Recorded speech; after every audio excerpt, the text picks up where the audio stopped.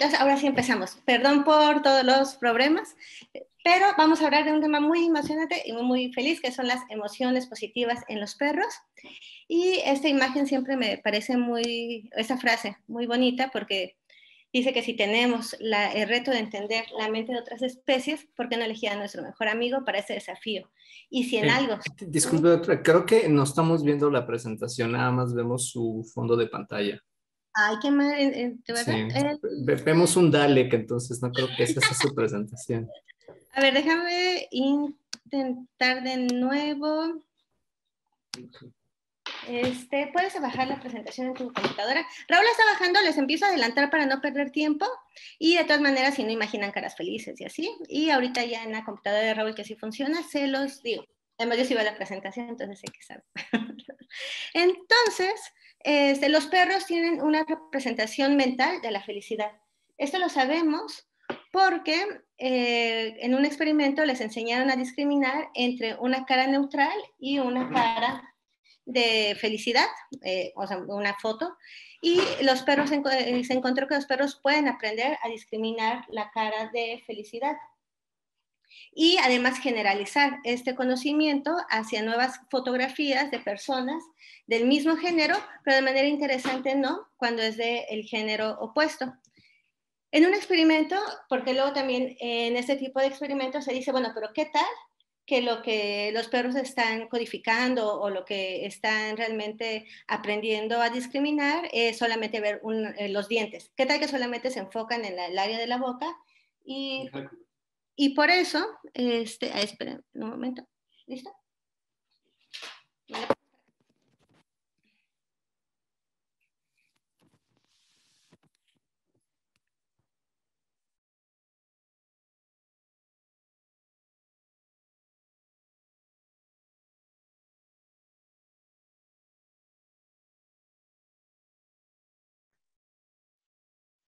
¿Ahora sí todo bien? Sí, sí, lo oímos.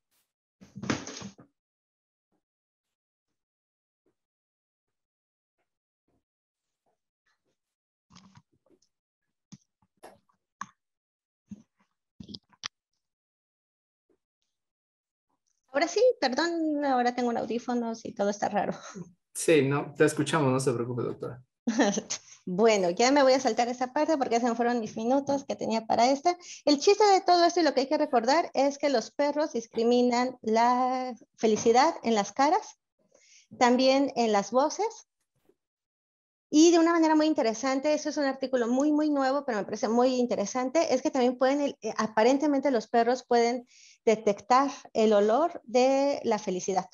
Entonces, en este, ejemplo, en este experimento les ponían eh, camisetas con personas que habían estado ex experimentando emociones felices y eh, emociones de miedo, y entonces encontraron una diferencia en su conducta. No, ahorita ya se me fue el tiempo, pero es un artículo muy, muy interesante.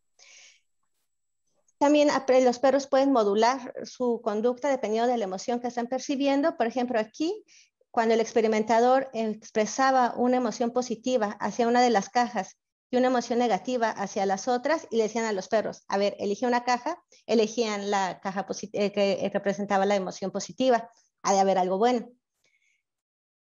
Pero este, lo que yo estudio y en lo que me especializo es en estudiar cómo el cerebro de los perros percibe los estímulos sociales.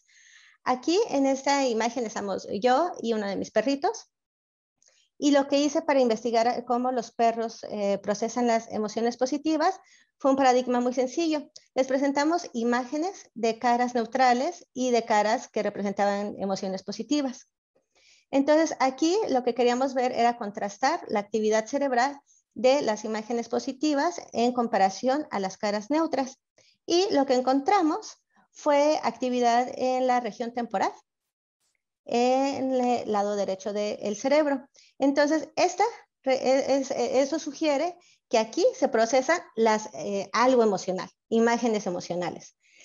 Pero es interesante porque no sabemos en realidad con solo este experimento si estas regiones temporales están respondiendo a la felicidad en concreto o a cualquier tipo de emoción en general. Entonces, hicimos un segundo experimento en el que participaron estos cuatro perritos. Entonces, aquí lo que queríamos ver era saber si podíamos encontrar patrones cerebrales que describieran, eh, que, que representaran las diferentes emociones. Entonces, aquí les presentamos a estos cuatro perros imágenes de caras, pero ya no solo felicidad y neutral. Aquí presentamos cuatro tipos de emociones. Presentamos miedo, enojo, tristeza y felicidad.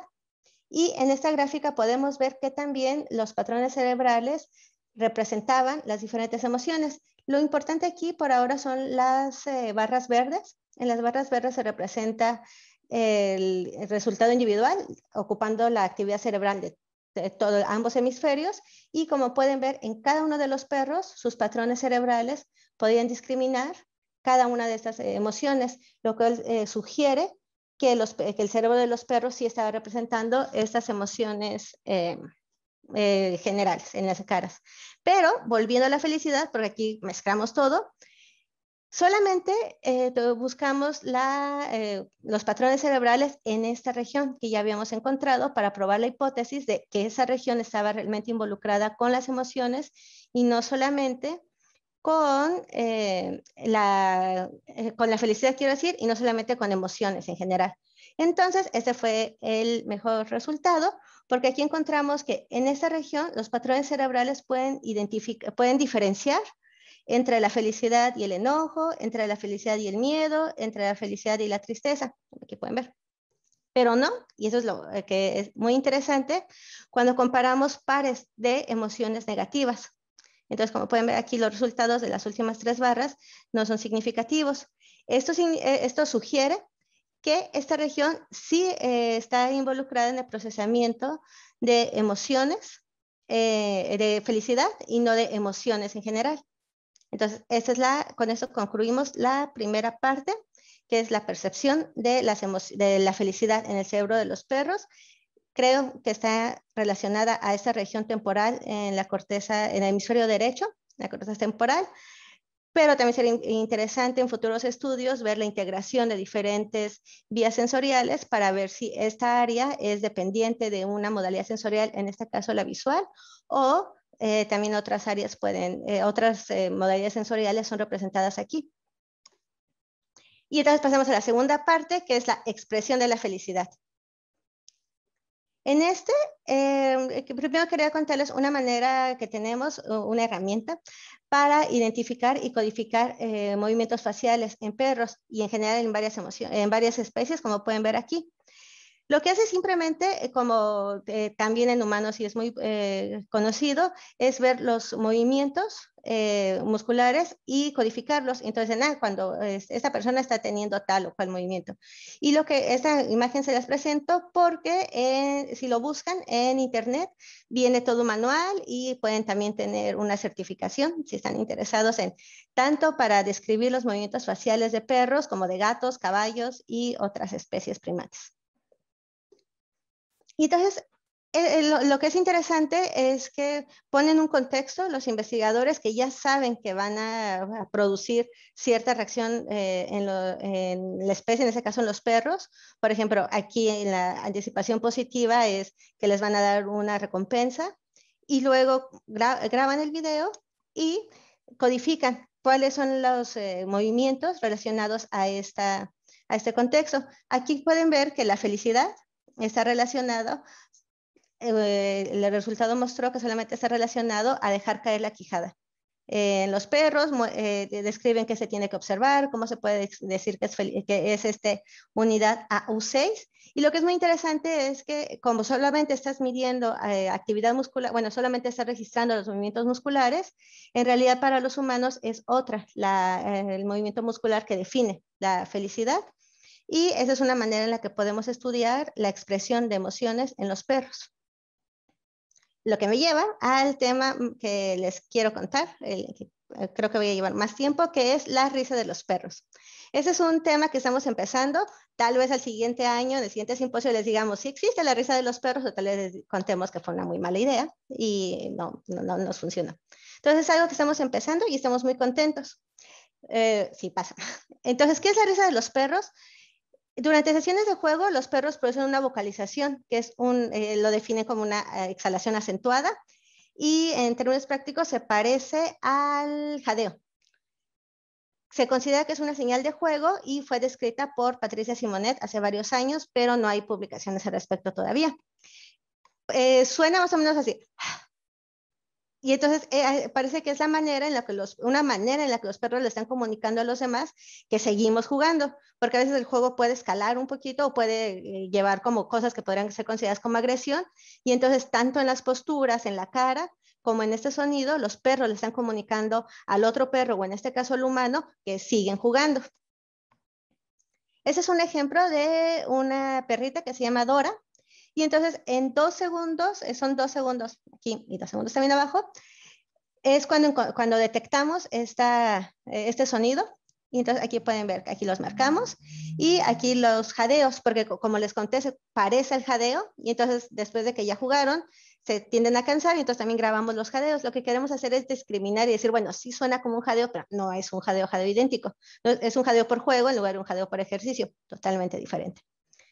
Lo que hemos encontrado hasta el momento es que los perros sí se ríen, eh, según nosotros, y eh, en comparación al jadeo por ejercicio, el jadeo por juego tiene menor frecuencia. Entonces, como pueden ver aquí, pasa menos en dos segundos en comparación al jadeo por ejercicio. Y sobre todo, una de características es que es muy rítmico el jadeo por ejercicio. Así, y en, cambio, en el juego es más dinámico, es menos rítmico en ese sentido y este, tiene una duración mayor y en los eh, perros que hemos grabado está presente en todos los perros, también porque la gente juega bonito con sus perros. Y en esa gráfica, que ya no me da mucho tiempo de explicar, solamente quiero resaltar que aquí en rosita eh, están las, algunas características bioacústicas de los, eh, del jadeo por ejercicio y en azul esta risa y como pueden ver el jadeo por ejercicio es más aburrido, es con menos variabilidad en general y creemos que sí vamos a poder discriminar ambos. Eh, nuestro plan es eh, presentar evidencia de los perros estaban jugando, los perros parecían que estaban contentos. Miren, esas son las imágenes de cómo se veían los perros. Y luego hicieron esta vocalización tal vez es una risa, y entonces esperemos convencer así a las personas que lo que estamos viendo es eh, escuchando, es la risa de los perros. Entonces, están, eh, en los videos que tenemos de las grabaciones, además de extraer estas vocalizaciones, también buscamos cada cierto tiempo, cada 10 segundos, que haya una imagen donde podamos identificar que los perros tienen esta unidad AU27 o una clara postura de juego les voy a enseñar cómo este, se ve y ojalá se escuche, si no, pues eh, ya les decía cómo se escucha, es como,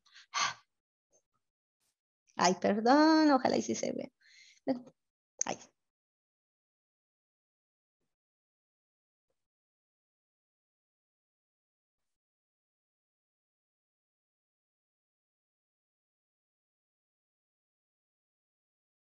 Y esa es la misma perrita, es Dora, y un perro jadeando.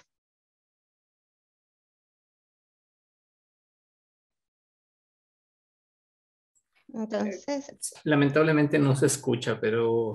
Pero bueno, ya se los dije y pueden imaginar con este, el perro jadeando al menos. y el otro, ahora que ya lo saben, vean en la vida cotidiana y ya verán que dicen, ¡Ah! van a escuchar que todos los perros se están riendo a su alrededor, ya verán.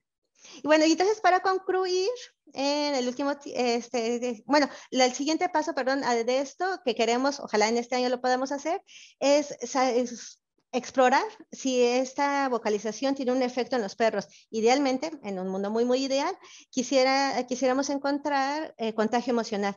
Entonces, posiblemente cuando los perros escuchen este sonido, les den más ganas de jugar, exploren más en comparación a otro tipo de sonidos. Es la parte que estamos desarrollando ahorita y esperamos para el siguiente año presentarles resultados positivos al respecto. Y entonces, para terminar, en el último minuto, les quiero eh, este, dar una, ya, hablamos de la percepción de la felicidad, de la expresión de la felicidad, y para concluir, les quiero dar un consejo de cómo pueden hacer, bueno, dos, uno rápido, cómo pueden hacer felices a sus perritos. Uno, es que los perros son muy cursiles. Entonces, simplemente con que se vean e interactúen 10 minutos, los dos van a liberar oxitocina, se van a querer más y es un beneficio para todos. No me da tiempo de explicar ese artículo que es muy bonito, pero abajo está la referencia. Y eso es la cosa, eh, pueden hacerlo ahorita, mañana en el día simposio, simplemente pasar tiempo con su perro y observarlo, les dará felicidad a los dos. Y la segunda cosa para explicarles, en esto, eh, contarles rápido de esta prueba, que es la prueba del sesgo cognitivo. Entonces, aquí se les enseña a los perros que un tazón, en una, eh, cuando lo pones en una parte, siempre tiene una recompensa. Y cuando lo pones en otra parte, nunca tiene una recompensa. Entonces, en la prueba simplemente le pones el tazón vacío en medio de las dos este, ubicaciones y ves qué pasa. Tomas el tiempo y eh, no, eh, te fijas si, si es más cercano a cuando tiene una recompensa o no. Como se pueden dar cuenta, todo eso es una manera compleja de decir que es si ven el vaso medio vacío o medio lleno. Y entonces, ahora sí viene el consejo. Cuando un perro se vuelve optimista, en este maravilloso artículo, que les recomiendo mucho, y ahí viene todo el protocolo muy bien explicado, lo que hicieron fue que probaron un grupo de perros y este es su primer resultado con la prueba que les acabo de contar. Entonces se tardaron esta cantidad de tiempo en promedio en ir al tazón cuando estaba en la parte ambigua. Y después, durante dos semanas, les pidieron a las personas que en sus casas hicieran un, un juego de olfato. Entonces escondían tres topercitos y uno de ellos tenía una recompensa de comida y les pedían a los perros que buscaran y encontraran cuál era eh, donde estaba la, comida y ya, era lo que tenían que hacer. Y entonces después de solamente dos semanas, aproximadamente 5 o 10 minutos al día, cuando los perros volvieron a hacer el experimento, eran, este, eran más optimistas. Es decir, se tardaron menos tiempo en ir al tazón en una ubicación temporal y con otro tipo de entrenamiento esto no se notó. Lo que es importante de aquí es que las autoras sugieren, y la evidencia en conjunto sugiere, también esta Alinka en, en la mañana nos contó de eso, que para los animales, incluyendo los perros y los humanos supongo, también es muy importante desarrollar conductas naturales. Entonces, en este ejemplo, la conducta natural era permitirles buscar por el olfato, que es algo que los perros hacen comida y por el olfato. Y lo segundo y muy, muy importante es darles autonomía. Entonces a las personas no les decían que no tenían que estar diciendo, ve por acá, busca acá, ahora tal cosa, sino simplemente dejarlo ser. Entonces, estos clases de ejemplos los podemos tomar en cuenta cuando dan sus paseos, dejarlo ser, si es seguro, dejarlos explorar el ambiente y dejarlos desarrollar conductas naturales como interactuar con otros de su especie. Y eso los hará más felices. Muchísimas gracias. Perdón por tanto rollo con compartir pantalla. Y supongo que queda tiempo para una pregunta, espero. Y si no, este, también me pueden contactar por Twitter después.